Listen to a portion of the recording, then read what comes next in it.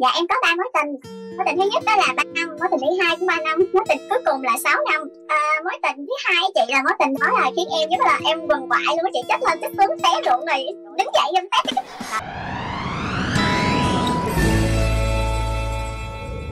Hello xin chào em. Dạ con chào cô tiền thật ạ. Con chào cô tiền thật ạ. Trời ơi cái gì mà chào cô dữ vậy con con hãy kêu cô bằng chị để cho cô trẻ một chút để cô lên ghi hình. Trời ơi đừng kêu cô bằng cô nha. Rồi em tên gì? Dạ hoàng minh ạ. Dạ em năm nay 30 tuổi hiện đang ờ, sinh sống và làm việc ờ, tại xứ sở kim chi hàn quốc ạ. Ok rồi Dạ. dạ. đó đi đợi chút xíu nha minh. Chị tường sẽ kết nối lần lượt các bạn còn lại rồi mình trò chuyện luôn. Bây giờ thì chúng ta sẽ đến với chàng trai thứ hai của chương trình ngày hôm nay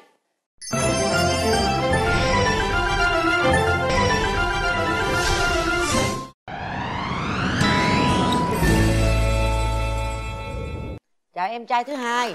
Chào chị, em tên gì cưng? Em tên Khôi chị ơi. Em tên Khôi.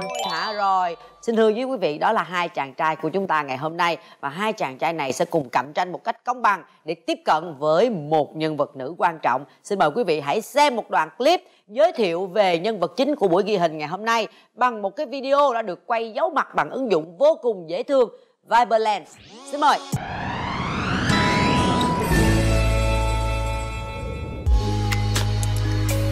Chào mọi người. Hôm nay mình mời mọi người vào vườn của mình chơi nha. Quê của mình ở An Giang. Ở đây nổi tiếng là vùng thác sơn bản núi. À, Có thốt nốt nè Có các loại mắm rất là ngon. Và ở đây có hoang cảnh rất rất là đẹp. Nói nói chuyện với mọi người không mà mình quên nói với mọi người là mình đang chuẩn bị vẽ tranh. Đây là lần đầu tiên mình vẽ tranh. Mọi người thấy là mình vẽ tranh có đẹp không? Có giống như là ở cái vườn đu đủ này không nè? Con gái ở miền tây á, thì nhẹ nhàng nói chuyện thật thà nữa, rất là dễ thương luôn. Nếu như mà anh nào mà lấy được con gái miền tây á, là có phước lắm đó nha. Trong vườn này á, còn có hoa mẫu đơn nữa. Mình lo vẽ tranh cả ngày luôn, bây giờ đến tối rồi. Mình quên mất á, là mình còn tưới nước cho cây nè. Rồi hả, mình còn cho mấy đứa cuốn ăn nữa. Thôi, clip của mình đến đây là kết thúc nha hẹn mọi người trên ghép đôi thần tốc online. Xin chào và hẹn gặp lại. Bye. Wow. Gu của em chị ơi. Hả? Gu em là gu làm sao? Dạ cái kiểu như là là một người con gái miền tây. Cái kiểu như là thước tha dịu dàng mà lại thích vẽ tranh mà yêu động vật. Nó thực sự là gu em luôn. Gu đầy đủ luôn vậy đó hả? Miền tây rồi còn đời rồi thì thích vẽ tranh thích yêu động vật vô hết luôn wow vậy Dạ. bữa nay mình cố gắng lên nha. Hy vọng là cái một cái nhân duyên một cái gì may mắn sẽ đến với em ha. À, rồi còn chàng trai ở bên đây. Cảm giác cảm giác của em thì chưa chưa chưa phải gu lắm. Bạn có vẻ hơi nữ tính, hơi dịu dàng quá so với em. Ủa tao nói yểu điệu thục nữ quân tử hiếu cầu vậy là em không có thích uh, yểu điệu em thích nó hơi hơi mạnh mẽ manly chút xíu hả em hay sao em? Ờ, hơi hơi hơi cá tính một chút Rồi, bây giờ thì chúng ta sẽ bắt đầu à, chào đón nhân vật nữ chính ngày hôm nay để xem cô ấy là ai nha. Nhưng mà thưa quý vị, chỉ mới có mình mình Cát Tường thấy mặt cô ấy thôi, còn hai chàng trai kia là chưa có được thấy đâu. À, hello, xin chào em gái. Dạ, xin chào chị Cát Tường, chị khỏe không? Khỏe, chị khỏe. Trời hết dịch chị em mình gặp nhau vậy là vui quá rồi hả cưng ha? Dạ, Rồi, bây giờ em sẽ giới thiệu một chút xíu về bản thân mình nè để cho hai chàng trai của chương trình ngày hôm nay lắng nghe. Xin chào mọi người, mình tên là Oxy, hiện tại thì mình đang làm DJ chơi nhạc ở các club và các uh, club bar ở Sài Gòn. Chị thông báo với em là không phải giống như em nói lúc nãy đâu nha. Cô ấy rất là ấn tượng, rất là cá tính luôn. À, bây giờ chị quay lại với à, với bạn Minh nha. Minh à, giới thiệu một chút xíu lại, bây giờ mới có bạn gái vô rồi nè. Dạ em xin kính chào uh, chương trình uh, ghép đôi thằng tóc và chào chị tường. Em tên là hoàng minh là năm nay em 30 tuổi. Hiện đang sinh sống và làm việc tại xứ sở kim chi uh, hàn quốc em uh, sang hàng thì được uh, 11 năm rồi ạ. Và hiện tại công việc của em là thông dịch viên và là một uh, đang hoạt động tại một công ty uh, sản xuất xe ô tô ạ. Ồ, là rồi trong 11 năm rồi chắc là mình cũng về Việt Nam nhiều lần đúng không Minh? Dạ em sang em về Việt Nam chơi được khoảng 3 năm là em về một lần ạ. Rồi ngoài cái công việc là mình làm thông dịch viên rồi làm trong công ty thì mình còn cái gì công việc riêng của mình không? một uh, tiktoker ạ. Dạ em được uh, một triệu hai follow ạ. Một triệu hai follow? Trời ơi là trời biết chừng nào các tường mới được cái con số follow đó. Em làm gì trên tiktok mà ghê vậy? À, tóc em chỉ ăn thôi ạ Trái xào trứng là đơn giản và ngon nhất luôn. Bữa nay ăn mâm cơm dân dã miền Đông Nam Bộ nghe. À xa mời mọi người dùng chúng về Quỳnh Đông lậu pha kem thuê mặn lỗi nghe. À, à không cút lậu à, à min mặn mồi. À không trăm móc lậu. À nói chung là hàng lậu pha ke là tôi hết. Trên tiktok chỉ ăn thôi đó hả? Mà một triệu lượt hai người theo dõi. Dạ. sao tôi ăn hoài tôi không thấy được gì chân thấy mập cái thay thôi hả? Ủa như vậy là em ờ, nấu Dạ. ăn ngon lắm hả minh? Mẹ em là một uh, đầu bếp á cho nên là em học được từ mẹ em cho nên là em có được khá nhiều món. Với lại uh, đi uh, sống xa nhà từ nhỏ chị cho nên là bắt buộc là mình phải biết nấu. Ủa vậy vừa rồi mình có khuyết điểm gì không em? Chứ nãy giờ chị nghe em toàn điểm mạnh không vậy? Dạ mặt hạn chế của em là có quá nhiều điểm mạnh đó có quá nhiều điểm mạnh đó. Dạ em đùa thôi chứ thực ra thì à, điểm mạnh điểm yếu của em là ờ, em hay ờ, em hay dễ ờ, cảm xúc lắm em hay xúc động lắm. Ờ, dễ ờ, bị ờ, tác động bởi cảm xúc bởi trước một cái sự việc nào đó. Cảm ơn cưng nha. Một chút xíu nữa sẽ mình sẽ khai thác tiếp. Bây giờ đưa qua anh khôi nè. Rồi bây giờ tới mình giới thiệu nè công việc của khôi hiện tại là làm gì khôi ơi? Hiện tại thì công việc chính của em đang là huấn luyện viên thể hình á. Thì em ờ, chủ yếu thì hiện tại em dạy khách là ở các chung cư chung cư cao cấp ở Sài Gòn. Như vậy là mình tới nhà của khách mình dạy cho khách hả cưng dạ đúng rồi. Hiện tại thì là em đang tới nhà thì thường là những cái chung cư thì nó hay có những cái phòng riêng của chung cư á em còn ờ, một vài công việc khác liên quan tới bên ờ, bất động sản nữa. Rồi là quê của mình là ở đâu? Dạ em ở Sài Gòn luôn chị. Thì lúc rảnh rỗi thì em làm gì? Tập thể thao đi chạy thể thao rồi ờ, dẫn chó đi dạo rồi kia. Có dẫn chó đi dạo nữa? Dạ có vẻ hơi trùng khớp nha. Có những cái cái điểm nào mình còn hạn chế không khôi? Con người em thì ngược lại với bạn hồi nãy. Em thì lại theo hướng về lý trí nhiều hơn là cảm xúc cũng có cảm xúc nhưng mà đa số em sẽ đưa ra những quyết định dựa trên cái suy nghĩ cái cái cân nhắc kỹ càng hơn chút. Biết này là điểm yếu và điểm mạnh? Nhưng mà em nghĩ là đối với có thể là điểm yếu của một số người. Rồi bây giờ quay lại với nhân vật chính của mình nè. Oxy ơi bây giờ em nói một chút những cái điểm mạnh điểm yếu của mình nhé điểm mạnh của em á thì ờ, em là một người ờ, có thể làm được rất là nhiều việc việc gì em cũng làm được. Em có học ờ, thiết kế ờ, 2D 3D rồi công nghệ rồi em quay phim được rồi nói chung em lên kịch bản em họ làm diễn viên được. Ờ, em rap được. Nhưng mà điểm yếu của em là khi em yêu ai thì em lại bị ờ, lụy tình cảm vào người đó nhiều quá. Wow. Có cái vụ yêu ai lụy nữa hả? Trời ơi. À, dạ. Đúng rồi? Trái tim ông hoài vậy ông minh? Ông làm gì ông, ông sợ tim rất ra ngoài hay gì vậy? Thứ hai nữa là biểu là gia đình của em nhiều khi em làm cái gì á thì em luôn suy nghĩ ở gia đình em là coi gia đình em có những việc em làm là có buồn hay là không. Nếu mà họ buồn thì em không có làm những điều đó nữa. Bây giờ hỏi tình trường sao nè? Dạ em có ba mối tình. Mối tình thứ nhất đó là ba năm mối tình thứ hai cũng ba năm mối tình cuối cùng là 6 năm. À, mối tình thứ hai chị là mối tình đó là khiến em giống là em quần quại luôn á chị chết lên chết xuống té ruộng rồi đứng dậy em té. Mối tình đó sao? Kể sơ bộ chị nghe coi gì mà quằn quại dữ vậy một thời gian lúc mà ba em mất á thì em mới phát hiện ra cái người đó lại có bạn gái mà giấu em. Mà quen 3 năm luôn Dạ. phát hiện hả? Hai năm rưỡi em phát hiện nhưng mà em vẫn tha thứ. Tha thứ rồi thì người đó vẫn tiếp tục ờ, cũng hết gây người này thì quen lại người khác. Cuối cùng á thì ờm, cái anh này kiểu như là anh ghen quá là em không thể nào chấp nhận được. Giống là em đi em đi biểu diễn em chụp hình với lại những bạn fan á. Thì cái anh này không đồng ý. Xong ảnh về nhà ảnh tự ờ, tự làm ảnh tổn thương ảnh tự đánh ảnh vô trong cánh cửa rồi đánh vô tường rồi tay chảy máu nên là làm em rất là sợ. Sợ quá. Nên là thôi em chấm dứt mối tình đó luôn là mối tình đó là em nhớ nhất á. À cảm ơn em. Rồi bây giờ Dạ. thì có mấy mối tình rồi minh? Dạ em thì đã trải qua hai mối tình rồi ạ. Cái mối tình mà để mà em ấn tượng nhất là mối tình à, cách đây khoảng à, 5 năm về trước là kéo dài được khoảng 3 năm ạ hai đứa em cũng quen nhau ở bên Hàn Quốc, nhưng mà đến một ngày nào đó thì bạn đó bắt buộc phải đi về Việt Nam. Chuyện gì đến nó cũng đến thôi. Xa mặt thì cách lòng mà. Người ta đâu có đợi mình được hoài, mà người ta cũng phải còn nhiều thứ người ta phải làm.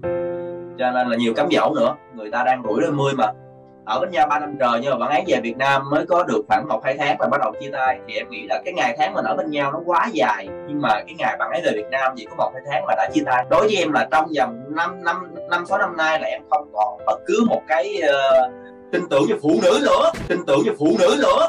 Cho nên là em không quen ai nữa. Cảm ơn minh nhưng mà đừng có hận phụ nữ nha. Đừng có mở là phải mở lòng ra. Đừng có đóng cửa không ai vô được đâu. Mình đóng cửa là mình thiệt thòi chứ không ai hết trơn á rồi giờ quay lại Dạ. khôi nha. Khôi ơi khôi là bao nhiêu mối tình Dạ. em thì trải qua đâu đó cỡ khoảng ba mối tình. Mối tình đầu tiên thì là lúc em 17 18 tuổi. Kiểu em là một cái người dạng như hướng ngoại á. Xong rồi em gặp một cái bạn hướng nội cái em lại thích. Khoảng 2 năm thì ờ, bắt đầu lên môi trường đại học thì bắt đầu là hai đứa có những cái gọi cái giãn cách. Rồi sau đó thì tới mối quan hệ thứ, thứ hai ờ, cũng trải qua nhiều các kỷ niệm. Rồi nói chung là hai đứa sống chung với nhau một thời gian thì sống chung thì cái những cái điểm mà mình không không phù hợp với nhau đâu. Nó từ qua năm tháng thì nó lộ ra. Và mối cuối cùng thì em mới quen thời gian cũng gần đây thôi. Trước dịch bạn này thì là một bạn nếu như mà để em nói là để làm vợ thì em sẽ chọn bạn này. Nhưng mà đại đa số là lúc đó tụi em nó hơi mập mờ tí xíu. Nó cũng không hẳn là, là công khai nên là có lẽ là vì một thời gian quá dài mà bạn nó không có cái danh phận. Lỗi của em đúng không? Dạ đúng rồi mọi người ơi mọi người ơi mọi người đang theo dõi chương trình đến cái lúc gây cấn này rồi. Bây giờ à, quý vị khán giả đang theo dõi hãy nhanh tay vào ngay community ghép đôi thần tốc trên viber để tham gia mini game bình chọn coi là oxy sẽ chọn chàng trai nào để đi tiếp vào vòng sau quý vị nha. Rồi bây giờ thì à, chị hỏi oxy một chút xíu mẫu người lý tưởng em muốn lấy là như thế nào? Mẫu người lý tưởng của em thì em thích chàng trai nào uh, trên 30 tuổi một chút xíu có công việc ổn định nè rồi à, nói chung là phải hiểu chuyện và biết chiều bạn gái một chút xíu. Với lại là luôn tính về tương lai. Em ngoại hình bên ngoài cao hơn em một chút xíu là được rồi. Nói chung là em cũng không quan trọng là đẹp trai hay là xấu trai hay là quá lùn hay là quá cao nữa. Em là một người tiếp người rất là lãng mạn luôn. Nói chung là người nào mà không lãng mạn để với em cũng hơi khó. Tại vì em là kiểu con gái à, nhìn bên ngoài thì mạnh mẽ vậy thôi nhưng mà bên trong nó kiểu là nhõng nhẽo rồi thích kiểu như là bạn trai lúc nào cũng quấn quýt với mình hết á. Ồ rồi ok biết cái gu của em rồi nha. Khôi ơi mẫu người bạn gái của em là như thế nào khôi? Cái đầu tiên đầu tiên là phải uh, hiểu chuyện chia sẻ. Còn lại mọi thứ em lo. Ghê còn lại mọi thứ em lo. Quay tại vì cái nghề của em là nghề làm về sắc đẹp á nên là đâm ra là em cũng có một số tiêu chuẩn nhất định về ngoại hình. À, rồi minh ơi minh thì thích một mẫu người phụ nữ như thế nào minh ha dạ tính em thì kiểu như là cũng hơi trẻ con á cho nên là em thích một người nào đó ờ, dạng như là chững chạc tí xíu đặng mà dằn em lại chứ mà hai đứa trẻ con hết thì về nhà sợ quậy banh nhà vui mà. Em không quan trọng về thức nhiều thấp hơn tới em xíu thôi là được rồi. Nói chung là em cao mét mấy? Em cao em cao có mét sáu chín à. À phải không? Có cái điều gì ở người bạn nữ mà em không thích ờ, đừng có cọc cằn quá. Nó như là cọc cằn quá mình sổ sàng quá hay là mình không có làm chủ được cái lời nói bản thân của mình á là mình không đúng. Em thấy mình có tật xấu gì không? Em tật xấu của em là kiểu như là em hay nóng tính lắm. Bởi ơi. vậy em cần một người nữa có nóng tính nữa. mình nóng tính theo hết là nó cháy nhà hết trời. Em đang nóng tính nha em có cô vợ mà cũng nóng hơn em nữa em mới vừa hé hé nóng lên. Cô dập cái em sợ quá em tắt luôn cái tự nhiên em bỏ được cái tính nóng của mình tính của em á mà em thấy kiểu như mà ai mà kiểu như là không thích điều gì là em luôn càng cứ để làm điều đó để cho người ta hả bỏ ghét cái chị em là bỏ ghét á. Trời đất ơi. Nhìn bên ngoài thì em luôn vui tươi vậy thôi nhưng bên trong thì em là người rất là sâu sắc luôn. Thì nghe hai chàng trai nãy giờ thì em cũng cảm nhận là cũng có thích uh, một người à. Dạ. Bây giờ hôm nay oxy tham gia chương trình là mình có người thân mình à, ngồi à, để mà cố vấn cho mình không nè có mình em quyết định luôn chị ơi giờ chọn sai chọn đúng là hả là cũng phải về nhà đó.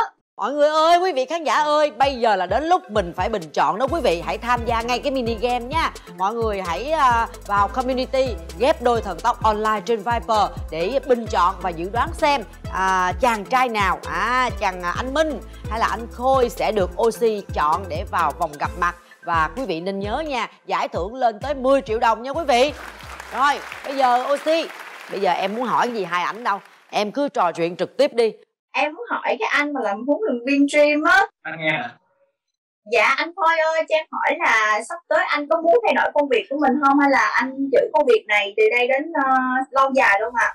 À, hiện tại bây giờ công việc của anh Jim á hiện tại bây giờ là cái công việc anh đang làm nhưng mà song song với đó thì anh cũng có bên cái mảng là bất động sản nữa thì cái mảng bất động sản đó là cái mảng anh đang muốn để có một cái việc ổn định lâu dài. Còn cái Jim thì thực sự nó là cái đam mê của anh cho nên là thật ra là nếu mà để nói để thay đổi công việc thì anh không không sẽ không thay đổi tức là song song với một công việc khác ổn định hơn. Anh sẽ có hai nguồn thu nhập thụ động. Cho em hỏi uh, anh uh, ở bên Hàn Quốc á? Ồ anh đây anh đây. Ông lanh lắm. Alo, chào anh. ông lanh lắm. Anh không còn lòng tin vào phụ nữ nữa hả uh, cái kiểu là không phải là không tin vào phụ nữ nhưng mà kiểu như là anh uh, anh không có muốn ờ, trái tim của anh tổn thương nữa kiểu vậy đó. Nhưng mà anh mong là sau chương trình này thì chắc là trái tim của anh chắc là sẽ sẽ mở mở ra lại. Nhưng mà khi mở ra có quên đóng cửa không? Ai gõ cửa thì gõ ra mình mình phải mở ra rồi mình đóng lên liền chứ. Em tưởng mở xong rồi quên đóng luôn là để nhiều người vô là chết nhưng mà mở ra rồi, rồi bắt đầu là nó trào vô là mình đóng không kịp là không có kiểm kiểm, kiểm tra được em không được mình không kiểm soát được. Ờ nhưng mà cho em hỏi là nếu như mà anh có bạn gái ở Việt Nam thì anh sẽ bay về đúng không? thì tất nhiên là anh phải sẽ phải sắp xếp công việc để mà về thăm người ta rồi ờ, còn lo cho định hướng của hai đứa nữa chứ Ờ nhưng mà cho em hỏi là anh ở Hàn Quốc nhưng mà quê anh ở Việt Nam là ở chỗ nào? anh ở tây ninh nha Dạ Ờ em sao em trò chuyện thì em cũng hiểu hiểu được chút rồi đó chị ơi Bây giờ xin mời quý vị khán giả cũng như là Oxy và hai chàng trai của chúng ta sẽ theo dõi hai cái đoạn video clip mà hai nhân vật nam của chúng tôi đã quay lại bằng ứng dụng Viperland. Xin mời quý vị cùng theo dõi. Xin chào tất cả mọi người, hiện tại mình đang là thông dịch viên tiếng Hàn. Đồng thời thì mình cũng đang làm tại một công ty sản xuất xe ô tô tại Hàn Quốc. Sở thích của mình thì thích hay đi dạo, ngắm cảnh rồi nghe nhạc như thế này nè. Những lúc có thời gian rảnh á, mình cũng hay đi leo núi lắm. Mà leo nửa đoạn là về à, tại mệt á. Nói đùa xíu thôi chứ đi bộ cũng là một bộ môn tập thể dục rất là hữu ích luôn á. Mọi người có biết người con trai hấp dẫn nhất là khi nào không? Là khi vào bếp á, tự tay nấu những cái món ăn thiệt là ngon dành tặng cho những người mình yêu thích nhất để thưởng thức. Cái món ăn mà ngon hay dở á, là cũng tùy thuộc vào cái tình cảm của người nấu dành cho người ăn á. Không biết là người con gái của cuộc đời của anh có muốn thử cái món ăn mà anh làm không nữa ha mình rất là yêu quý động vật luôn bởi vậy nếu mà gấu tìm hoài không có thì nhất định ở trong nhà phải có một con mèo nha dù là hát một bài là hơi bảy tám tông thiệt nhưng mà minh cũng rất là thích hát luôn Dễ thương. Trời ơi chị ơi mới nghe là hình như cái giọng của anh này quen lắm rồi nếu có coi clip ảnh hay sao á Người ta một triệu hai lượt người theo dõi lận. Rồi, đến với clip thứ hai nha quý vị. À, hai mọi người, mình là Khôi, hôm nay mình 26 tuổi, hiện mình đang là huấn luyện viên cá nhân tại khu vực Sài Gòn. Thì mục đích chính mình tham gia chương trình là để giao lưu kết bạn, phát triển thêm những mối quan hệ trong xã hội. À, sở thích của mình chính là thể thao, du lịch, à, thú cưng, đặc biệt là chó và mèo. Thì ờ, rất vui được tham gia chương trình này.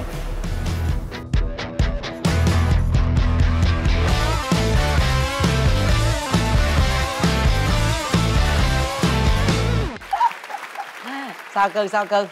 Trời ơi em thấy gì mà toàn toàn là cơ bắp không à. Trời ơi thấy em phụ nữ chứ em cũng có cơ nữa đó nha. Em giác lúa một ba năm mươi kg đó. Ghê ghê ghê. Minh Minh hát thử một câu chị nghe coi Minh tự nhiên chị tò mò cái vụ mà hát bảy tấm tông của em quá à. Chị không biết hát bảy tấm tông là sao luôn á. Hát vô nghe một câu coi. Em hát em hát là tuột view của chương trình gắn chịu đổ thừa em nha. Câu coi là coi như đ- đãi chị tường đi. Xin hát một ờ, đoạn nhỏ của bài ờ, bài Việt miền Tây nha ơi, họ ơi họ ơi ơi, họ ơi. Anh mời em ghé lại chốn này một lần. Mời mời em về thăm quê. Có tiếng ca đậm tình tiếng ca rượu mến đậm đà hương quê. Thôi bây giờ em phải đến là hồi hồi kết rồi cưng ơi cưng phải lựa chọn đi. Dạ quý vị ơi quý vị khán giả ơi cổng thông báo mini game trên Viper Community đã đóng rồi nha. Và bây giờ thì đến lúc nhân vật nữ chính của chúng tôi là cô Oxy ngày hôm nay phải đưa ra quyết định. Khôi nói một câu đi Khôi. Minh nói một câu đi Minh. Dù em có quyết định như thế nào thì anh cũng tôn trọng quyết định của em. Dạ nói chung thì ờ, em cũng biết rồi đó. Ờ, mẹ nói rồi nhà không thiếu gì chỉ thiếu mỗi dâu thôi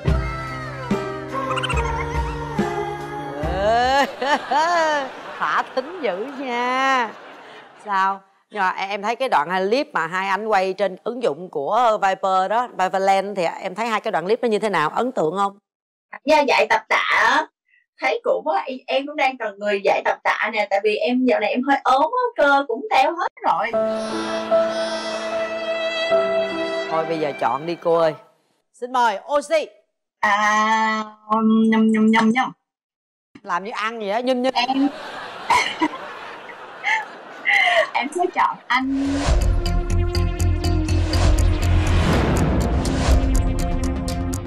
Thích chàng trai nào ờ, trên 30 tuổi một chút xíu Có công việc ổn định cao hơn em chút xíu là được. Đầu tiên là phải uh, chuyện chia sẻ còn lại mọi thứ em lo Ghê. em không quan trọng gì thích nhiều mắt một đứa em xíu thôi. Là được rồi. Nếu mà mẹ nói là thay đổi công việc thì anh không không sẽ không thay đổi. Anh không có muốn trái tim của anh tổn thương nữa kiểu vậy đó. Nhưng mà anh mong là sau chương trình này thì ờ, chắc là trái tim của anh chắc là sẽ, mập mở ra lại. Em chọn anh Minh à, sẽ đi tiếp với em vào vòng trong Rồi xin mời phòng máy cho Tường kết nối cả ba nhân vật. Bây giờ mới chính thức được nhìn thấy mặt nhau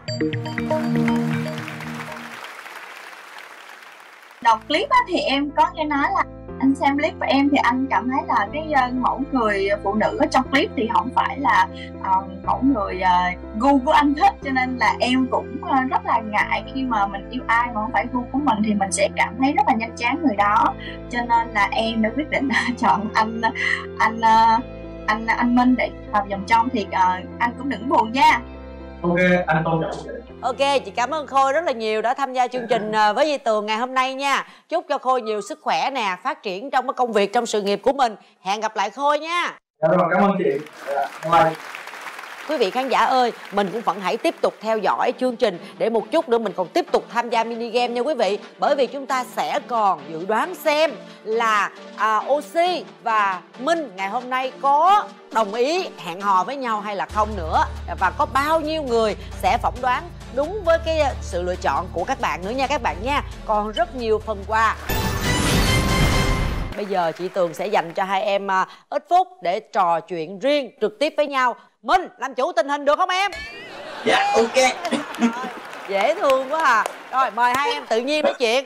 thực ra thì anh đến lúc đầu á, mà nghe được giới thiệu được cái nghề của em á thì anh cũng nói chung là cái nghề đó rất là thích luôn nhưng mà kiểu như là con gái mà mình làm mấy cái nghề này á em có bị uh, dạng như là em có bị một cái stress hay là một cái khó khăn gì không Ờ, dạ có chứ đương nhiên mà ai mà làm trong nghệ thuật thì ờ, người nào cũng sẽ ừ, có ờ, điều giống nhau hết luôn gặp thị phi nè rồi rồi luôn gặp những điều mà người ta đặt chuyện lên để người ta nói những điều không đúng về mình thì đương nhiên là mình sẽ bị áp lực ở trong công việc rất là nhiều. Mai mốt mà có mệt mỏi quá thì tìm anh. Anh luôn là điểm tựa cho em ờ, những lúc buồn. Nhưng mà con gái á, mà làm mấy cái nghề này á là thực ra là anh nghĩ là thức khuya nhiều quá không có tốt cho cơ thể của mình đâu. Tại vì anh á định hướng của anh á là sau này anh về Việt Nam á là anh sẽ mở một cái nhà hàng Hàn Quốc. Thì không biết là em có về Tây Ninh làm dâu rồi à, uh, làm một bà chủ của một cửa hàng Hàn Quốc của ta. Em có thể nào bỏ cái nghề đó của em để mà về Tây Ninh để mà uh, sống nửa cuộc đời còn lại rồi dung đắp với gia đình hay không? Có nhiều rất là nhiều anh chị ca sĩ nổi tiếng rất là nhiều người nổi tiếng người ta bỏ cái nghề của ta để người ta dung đắp gia đình thì anh không biết là nếu như cái ngày đó xảy ra thì anh không biết là em có thể nào. Rồi sau bữa nay cho mình giống như vật chính dữ trời. à, thật sự thì à, cái nghề của em á ngày xưa em lên Sài Gòn thì à, lúc đó gia đình em cũng gặp gặp rất là nhiều khó khăn. Thì em nhờ cái nghề DJ này thì em mới giúp được gia đình em. Em à, xây nhà cho ba mẹ em rồi nói chung là em lo được cho tất cả anh chị em của em rồi cháu em đi học nữa. Rồi em được có cơ hội đi sang nước ngoài được đi rất là nhiều nước để lưu diễn. Thì bây giờ nếu mà nói bỏ nghề này thì chắc chắn là em sẽ suy nghĩ rất là nhiều tại vì nó mang lại rất là nhiều cơ hội uh, cho em. Uh, cảm thấy uh, uh, hơi buồn tại vì mình đã xây dựng bỏ rất là mười mấy năm để đi theo nó. Em nghĩ là lấy chồng thì mình cũng phải theo chồng nhưng mà mình phải có một công việc riêng nào đó để mình thu nhập. Chứ còn mà bây giờ mình bỏ theo theo chồng không làm gì hết không làm gì ra tiền thì lại bị ăn bám theo chồng á. Rồi gia đình em thì không có ai lo hết cho nên là em cũng uh, uh, hơi ngại về điều đó. Còn bán nhà hàng thì tại vì hiện tại em đang ăn chạy trường á cho nên là em không muốn sát sanh với lại là uh, không có muốn làm hại những cái con vật quê anh là đạo của đài tháng cho anh 10 ngày nhà anh. Người anh đi trường rất là nhiều luôn. Wow.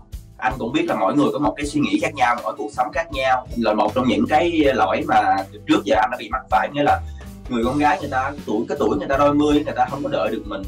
Nhưng mà anh nó thực ra thì anh cứ mãi anh lo kiếm tiền anh làm cho với cuộc sống của anh nhất ổn định bên đây á. Cho nên là như vậy mới mới dẫn đến chia tay á. Thì nếu như mà được thì thôi mình cứ tìm hiểu rồi nếu mà ổn á thì uh, mình cưới luôn đi. Rồi từ từ cái chuyện kia thì mình tính sao? Tại vì khi mà mình cưới rồi mình bỏ mình khó bỏ nhau chứ đó là hiểu không? Cưới cưới cưới nhau trong đêm luôn phải không?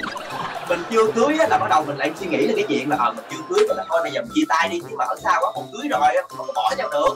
Nó nghe nè không mấy hai đứa nói chuyện luôn chị tường về nha. Trời ơi rôm rã hết sức luôn á. Tôi nghe gì mà tới chuyện đám cưới rồi về quê rồi luôn rồi. Từ từ đi làm quá em nó sợ bây giờ là lo làm sao mà sắp xếp mà hết dịch ổn định được, về việt nam thăm em nó một lần.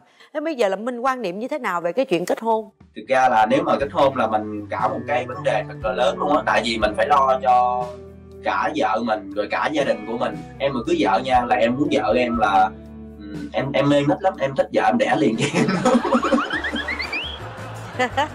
em cực kỳ thích luôn á em cực kỳ thích em bé. Đến tuổi này là thực ra em mà thấy em bé em bé ở đâu là em chạy lên bơm rồi con chị là con hai anh em quan trọng đâu. Một đứa chắc được rồi tại đẻ nhiều quá mình chăm không có nổi á. Ông nó nói chồng cháu làm gì ông kia làm gì mà thẳng thốt vậy? Cái điều mà các tường hối hận nhất đến hiện giờ là chỉ sinh có một đứa con. Quá ít. Tại vì em biết không khi mà bây giờ lúc mình còn trẻ đôi lúc mình lo công việc lo sự nghiệp. Nhưng mà đến một cái lúc giống như chị bây giờ nè chị 44 tuổi ha tự nhiên mọi thứ ổn định hết công việc ổn định kinh tế ổn định mà tự nhiên con có một đứa cái mình thấy nó thiếu vô cùng nó ít vô cùng luôn. Mình có thể là sựng lại công việc mình một xíu nhưng mà em biết không khi bằng tuổi chị tụi em rất là sướng luôn. Có chị có em có anh có em nó chơi với nhau đồ nó cũng vui hơn là một thân một mình. Cái ý tưởng y chang của em luôn á. Y chang luôn hả mình phải đẻ nên đẻ đẻ mà phản phản tệ cũng có hai đứa cho anh em cho có chị của em cho nó bầu bạn cho nó nói chuyện cũng đỡ buồn chứ đấy một mình nó nó chơi với ai đi đi chơi với con nhầm sớm đỡ bị quýnh rồi sao? Rồi anh em nó ra quýnh phụ chứ. Chưa kể nhiều lúc hai chồng trẻ mình chơi với nhau bỏ con chơi có mình nó tuổi thân. Dạ đúng rồi. À, thôi thì cái chuyện này từ từ nói chứ mọi thứ nó cũng đều là nhân duyên hết đó oxy. À, quan trọng là cảm xúc của Dạ. bạn như thế nào cho em một khoảnh khắc cuối cùng. Bây giờ em có muốn nói cái gì để thuyết phục uh, oxy nữa hay không? Chứ chưa thấy cô gái này quá xinh đẹp dễ thương luôn. Mình cũng không còn trẻ nữa. Cũng đến tuổi đã lập gia đình rồi. Thì cái chuyện mà em không muốn đẻ thì cái đó mình tính sau đi. Còn cái chuyện mà hôm nay em có chấp nhận cho anh một cơ hội để chúng ta có thể ờ, tìm hiểu nhau để ờ, vẽ một bức tranh thiệt là đẹp. Nha. Hay quá dễ thương quá bây giờ hai bạn đã chuẩn bị dùm cho chị tường hai cái biểu tượng của chương trình chưa? Các bạn sẽ nhắm mắt lại và sau 3 tiếng đếm của chị tường, các bạn hãy mạnh dạn, hãy đưa cái biểu tượng mà mình chọn lên. Nhớ nha đồng ý hẹn hò thì đưa chú cúng dễ thương. Nếu không đồng ý thì chúng ta đưa cái biểu tượng ngón tay ngược. Đây là cơ hội của các bạn. Mời hai bạn nhắm mắt lại. Một, hai, và ba. Mình cứ tìm hiểu rồi nếu mà ổn á thì ờ, mình cưới luôn đi. Rồi từ từ cái chuyện kia thì mình tính sao? Tại vì khi mà mình cưới rồi mình bỏ mình khó bỏ nhau chứ đó là hiểu không? Cưới nhau trong đêm luôn phải không? Không gặp những điều mà người ta đặt chuyện lên để người ta nói những điều không đúng với mình thì đương nhiên là mình sẽ bị áp lực ở trong công việc rất là nhiều. Mai mốt mà có mệt mỏi quá thì tìm anh. Anh luôn là điểm tựa cho em ờ, những lúc buồn. Xin mời biểu tượng của hai bạn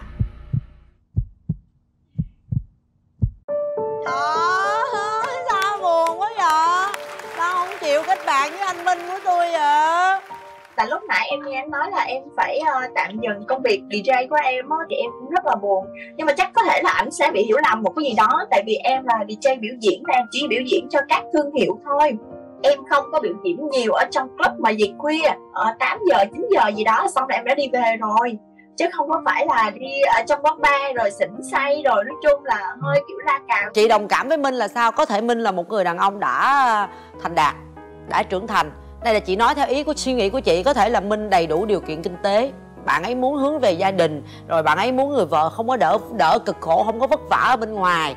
Như là con gái người ta sinh ra, cha mẹ ta sinh ra đã cực khổ lắm rồi, người ta ở với cha mẹ người ta từ nhỏ tới lớn. Em mà muốn cưới người ta về thì em chỉ muốn cho người ta một cái cuộc sống thực sự là hoàn hảo, thực sự là nó phải bền vững. Kiểu như em cực khổ đủ rồi, em sang, em xa nhà từ lúc năm 18 tuổi là em bước, đã bước sang hàng cực khổ, em chịu nhiều rồi thì em chỉ muốn vợ em hưởng hưởng cái hạnh phúc với em thôi em không muốn vợ em cực nữa. Sự là anh cũng rất rất là cảm ơn Lucy rất là nhiều vì cái cuộc gặp gỡ cuộc nói chuyện của ngày hôm nay. Rồi dù sao thì chị Tường cũng cảm ơn hai bạn rất là nhiều đã dành thời gian và đã chia sẻ cái câu chuyện của mình trong chương trình ngày hôm nay.